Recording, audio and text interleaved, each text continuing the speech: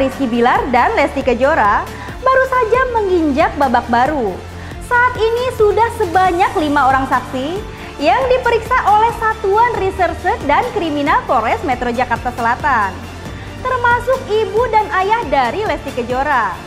Kasus yang menjerat aktor Rizky Bilar ini pun rupanya sudah naik status ke penyidikan. Dan konon, tindakan KDRT yang dilakukan Rizky Bilar telah memenuhi unsur pidana berdasarkan hasil visum yang telah dibeberkan oleh Kabid Humas Polda Metro Jaya Kombes Endra Zulpan. Satreskrim Polres Metro Jakarta Selatan telah melakukan pemeriksaan terhadap beberapa orang saksi sampai dengan hari ini telah diperiksa sebanyak lima orang saksi termasuk kedua orang tua Lesti kemarin juga sudah diambil keterangan oleh publik kemudian juga penyidik telah mengamankan CCTV yang ada di tempat kejadian perkara di rumah Jalan Gaharu 3 tempat terjadinya dan tidak pidana ketemuan tersebut. Saat ini barang bukti sudah diamankan penyidik. Sayangnya, belum ada nama Rizky Bilar yang tertera dalam kelima nama saksi yang telah dimintai keterangannya. Padahal pemirsa rasis, para saksi dan bukti-bukti yang sudah dilampirkan pun sudah mengerucut pada dirinya.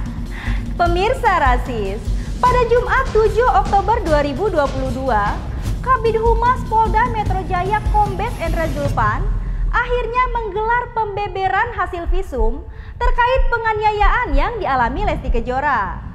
Lantas apa saja nih pemirsa yang tertera dalam hasil visum tersebut? Kemudian juga bisa saya sampaikan bahwa hasil visum terkait dengan dugaan kejadian ini ini juga sudah uh, dimiliki oleh penyidik hasil visum ya di mana dalam hasil visum ini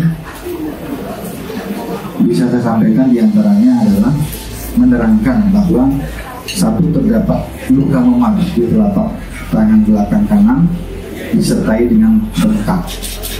Kemudian yang kedua terdapat luka memar di lengan bawah bagian depan lengan kanan disertai dengan bengkak, lebam dan nyeri dan tidak terdapat gangguan fungsi.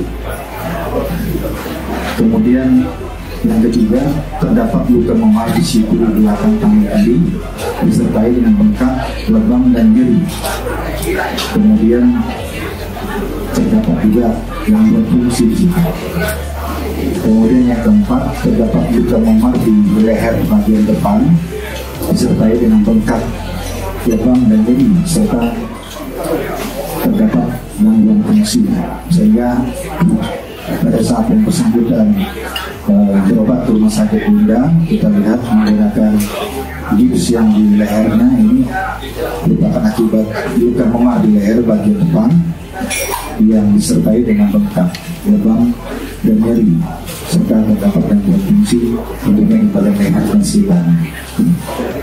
Kemudian uh, penyidik dari Satreskrim Polres Metro Jakarta Selatan telah mengatur gelar perkara terkait dengan kasus ini di mana dalam gelar dengan hasil visum dan juga pemeriksaan terhadap lima orang saksi kasus ini dinaikkan statusnya dari penyelidikan menjadi penyidikan saat ini penyidik telah mengagendakan memanggil beberapa orang lain di antaranya adalah terlapor saudara Muhammad Rizky yang mana sedianya kemarin semestinya hadir memenuhi panggilan namun melalui kuasa hukumnya menyatakan meminta pengunduran pemanggilan atau pemeriksaan menjadi tanggal 13 atau Kamis depan bulan Oktober ini. Kita harapkan tentunya dari saudara Muhammad Rizky sebagai terlapor ini bisa kooperatif dalam hal ini memenuhi panggilan nanti tanggal 13 sesuai dengan permintaannya agar bisa membuat terang persoalan ini. Iya pemirsa rasis, kurang lebih hasil visum tersebut tidak jauh berbeda dengan kesaksian yang selama ini diungkapkan oleh Kombes Endra Zulpan di depan para awak media. Nah pemirsa, dari hasil visum itu pun Kasus KDRT yang menyeret nama Rizky Bilar ini dinyatakan telah naik statusnya ke penyidikan. Lalu apakah itu artinya Rizky Bilar akan segera ditetapkan sebagai tersangka dalam kasus KDRT ini? Iya, kan sudah dinaikkan ke penyidikan. Kalau sudah dinaikkan ke penyidikan berarti kan kasus ini akan sudah memenuhi unsur pidana. Ya, kalau memenuhi unsur pidana artinya dinaikkan ke penyidikan. Nanti akan ditentukan oleh penyidik berdasarkan pasal 184 KUHP minimal dua alat bukti untuk menentukan tersangkanya gitu kan. Nah sekarang kan alat bukti sudah dikumpulkan tinggal keterangan daripada terlapor bagaimana nanti pada saat diperiksa ya kan apakah ada keterangan lain yang bisa menyangkal perbuatan itu dan sebagainya itu nanti tentunya diperlukan juga oleh penyidik sebelum menentukan status daripada saudara Muhammad Rizky yang saat ini masih sebagai saksi. Pemirsa rasis, kira-kira apakah Rizky Bilar akan segera mempertanggungjawabkan perbuatannya dan dilakukan penahanan terhadap suami Lesti Kejora ini? Tidak bisa ya.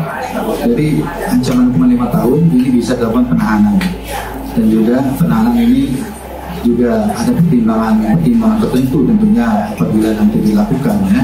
Misalnya uh, kita dikhawatirkan yang bersangkutan akan menghilangkan barang bukti kemudian melarikan diri kemudian juga dikhawatirkan mengulangi kekerasan yang sama. Karena hingga saat ini ya saudara Lesti Kejora itu sangat trauma dan ketakutan dan tidak berani kembali kepada saudara Muhammad Rizky sehingga berada di tempat tertentu yang dalam pengawasan keluarga besarnya yang mereka tidak berani melepas saudara Lesti Kejora untuk bersama dengan saudara Muhammad Rizky lain. Duh pemirsa rasis, padahal kemarin kuasa hukum dari Rizky Bilar mencoba memberikan pernyataan bantahan terhadap apa yang dilakukan oleh kliennya. Namun dari hasil visum yang telah dipaparkan oleh Kombes Endra Zulpan menyimpulkan bahwa tindakan penganiayaan yang dilakukan Rizky Bilar telah memenuhi unsur pidana nih pemirsa. Hingga Rizky Bilar pun disebut kemungkinan akan menjadi tersangka bahkan mendekam di penjara. Jangan lupa saksikan terus Rasis Infotainment. Pastinya kita akan sajikan berita menarik, terupdate dan terpercaya. Karena rasis, rumor artis dan selebritis bukan gosip tapi fakta. Untuk mendapatkan berita terupdate, jangan lupa tekan tombol subscribe, like, comment, and share, dan jangan lupa juga tekan tombol loncengnya. Saksikan terus Rasis, more artis dan selebritis, bukan gosip tapi fakta.